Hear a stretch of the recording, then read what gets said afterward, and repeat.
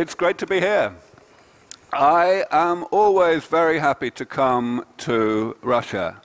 And one of the main reasons why I like it so much is because you people are the world leaders in understanding that aging is a bad thing and we need to fix it.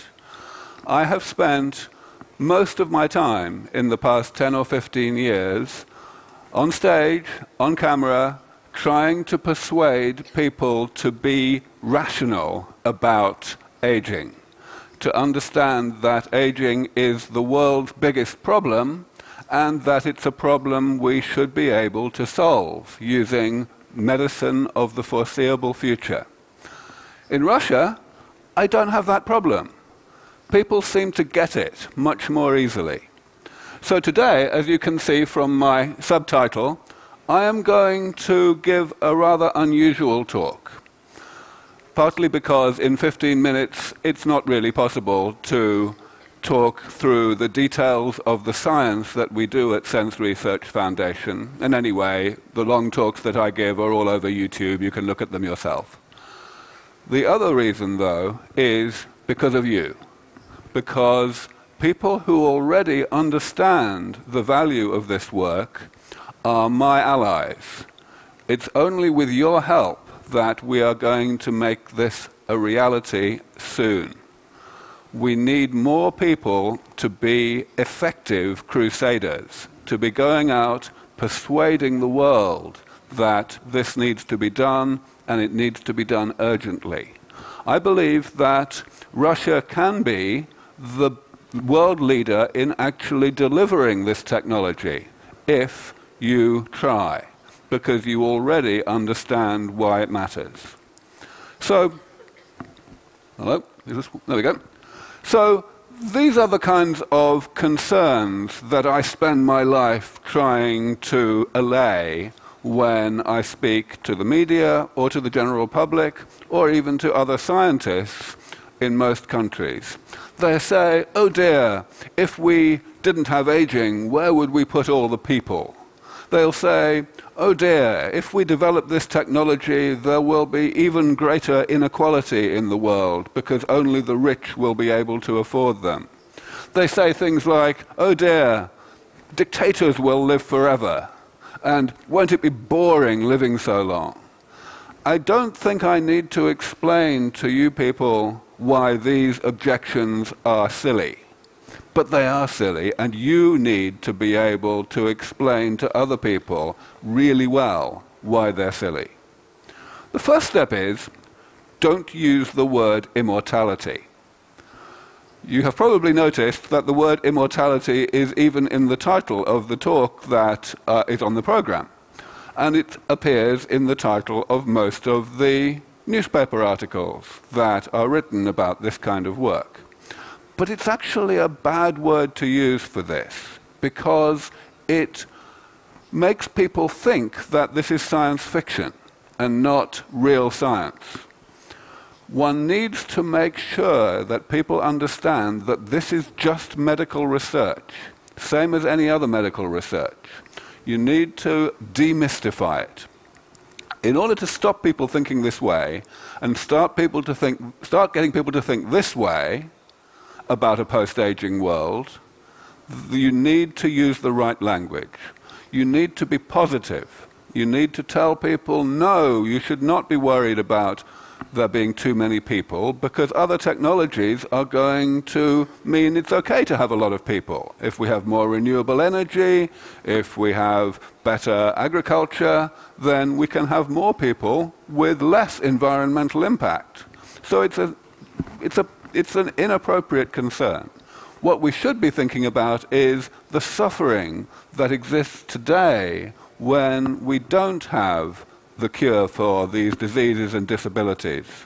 When we can bring those things under medical control, we won't have any Alzheimer's disease. We won't have any cancers of old age. We won't have atherosclerosis and heart attacks and strokes. That's the way that we need people to be thinking. And of course, it's not just the diseases, it's the vitality that comes with being youthful, being physically and mentally just like a young adult people like that will not be bored, they will be contributing wealth to society still. So everyone will be more prosperous. And that's why everybody will have access to these therapies, even if they cannot pay for them themselves. This is the problem that people have. It's a psychological problem. They think that aging is immutable, that nothing will ever be able to be done about it. Medicine cannot attack it. And because they think that, they don't really care whether aging is a good thing or a bad thing. But at the same time, they have the opposite problem. They think that aging is a good thing. They have convinced themselves that all of these supposed problems that would be created in a post aging world mean that we should leave it alone. And therefore, they don't really care whether it can be fixed. So, this kind of catch 22 that exists, this kind of circular logic, is what holds people back. It's important to convince people to address these two questions separately, to look closely at whether aging really is immutable, independently of the question of whether it's a good or a bad thing. This clicker is not. There we go. We must also remember that even if we are pessimistic, even if there is a possibility that problems would be created as a side effect of solving the problem we have today, those problems simply would not be so large as the problem we have today. Today, 100,000 people die every day worldwide from aging. That's two thirds of all deaths. In the industrialized world, it's something like 90% of all deaths. And of course, most of those people die after a long period of decline and disease and decrepitude and dependence and general misery. That's not good. It's a really big problem. And even if we ended up having to have fewer kids than we would like in order to ensure that there was enough space for everybody, is that really a worse problem than the problem we have today? No, it isn't. Finally, it's important to understand that we do not have the right to make a decision about the lives of people in the future. We just don't. Maybe there will be new technologies that will alleviate some of these problems. Maybe there won't. We cannot know, and therefore we need to give humanity of the future the option, the choice whether to use these technologies or not. If we don't develop these technologies, these medicines, then they will not have that option. And we will be condemning them to an unnecessarily painful and unnecessarily early death. We have no right to do that. That moral argument is the strongest argument there is that says that we have a duty to be making this research happen as quickly as possible. As I was saying earlier, this is not about immortality. It's not even about longevity. Longevity is a side effect. This is all about health. This is all about the ultimate medicine that can keep people looking and feeling and functioning just like young adults, however long ago they were born, however old they are. If we can do that, then yes, there will be a longevity side effect it'll be a big side effect. Most people will live far longer than anyone lives today. But it's still a side effect. It's a good it's a great side effect, but it's still a side effect. And once you get that through to people, it becomes much easier to get them to see the positives about this dramatic change that is going to happen in, to humanity. This clicker really, there we go. I'm going to talk a little bit about the science as well, because one thing that it is vital to get through to people is that there might just be a new idea here.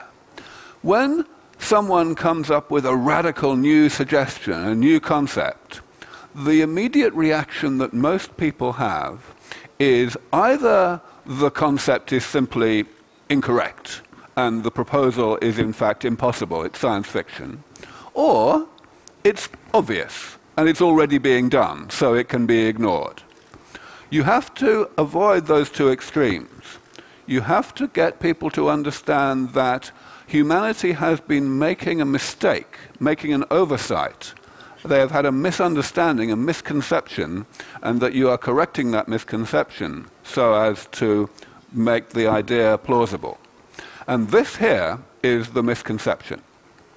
When you ask people in what way someone, someone can be sick, they will normally say, well, there are these four types of sickness. There are infections, that's the first column. There are genetic diseases that we occasionally inherit from our parents, that's the second column. Then there are the chronic, progressive diseases of old age, that's the third column. And then there is this completely separate thing called aging, which isn't a disease at all. That's what most people think. And it's a massive problem because it makes people think of the things in column three as if they are like the things in column one, as if they are like infections that can be cured. And the things in column four are not really diseases at all, and they maybe are not even in principle amenable to medical intervention. The only mistake here is where the black line is. This is the way that one ought to be thinking about disease. The things in column 3 are actually pretty much the same as the things in column 4. Column 3 and column 4 are both side effects of being alive in the first place. So you need a different approach that is not like vaccination or antibiotics, the way you might treat column 1.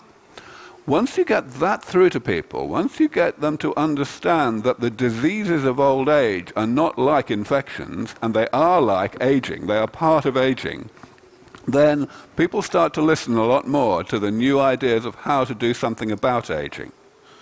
This clicker is really not working well. There we go.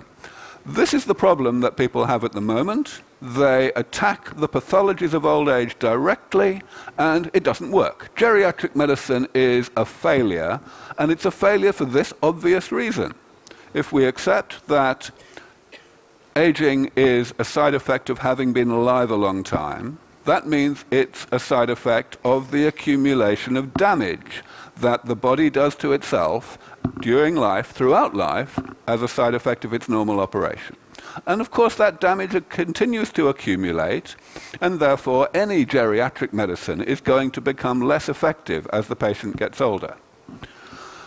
Some people have been thinking for maybe even a hundred years, including very early pioneers in Russia, that maybe we could slow down the rate of creation of damage. We could clean up the way the body works.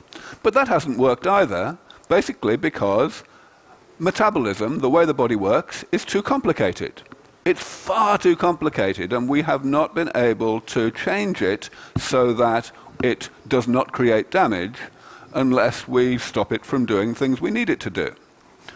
But if we think about how we maintain simple machines like cars so that they last much longer than they were designed to last, like this car, which is 100 years old and it was only designed to last 10 years, then we can see we could use the same concepts to treat the human body.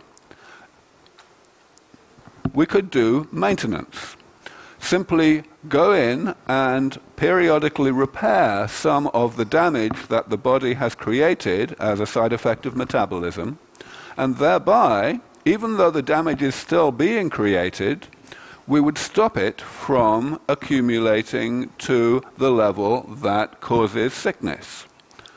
This is how we do this.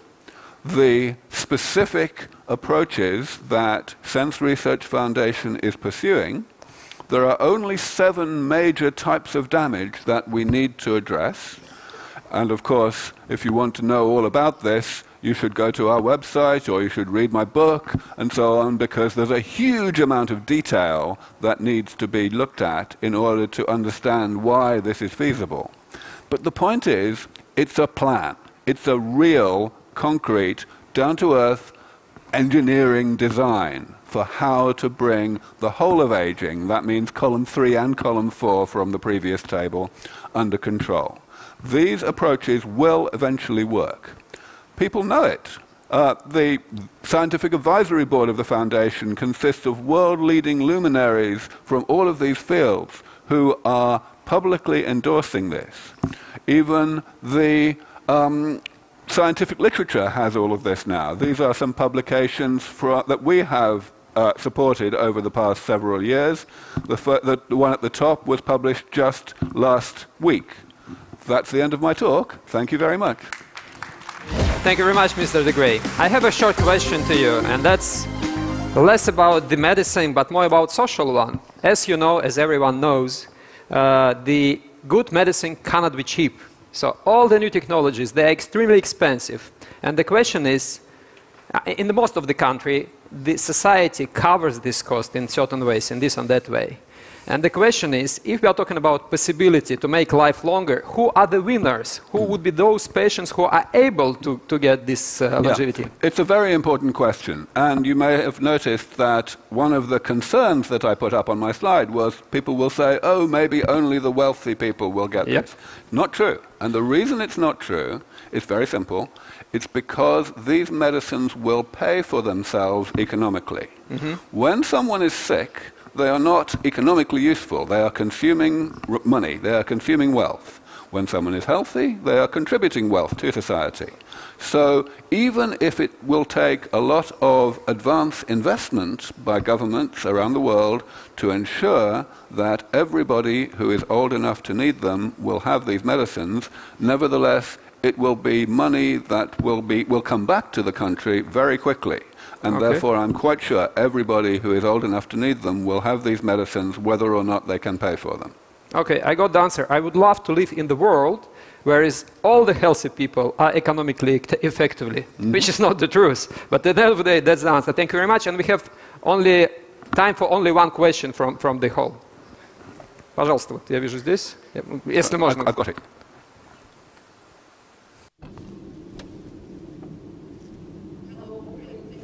Much for your great presentation.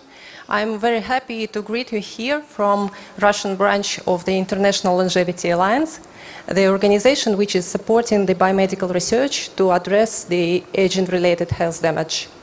And uh, my question is about self-testing.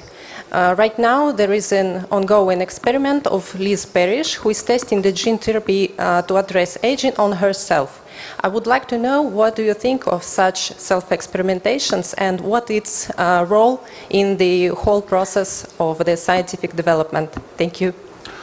Self-experimentation is a tradition that has existed for many, many years in science and medicine.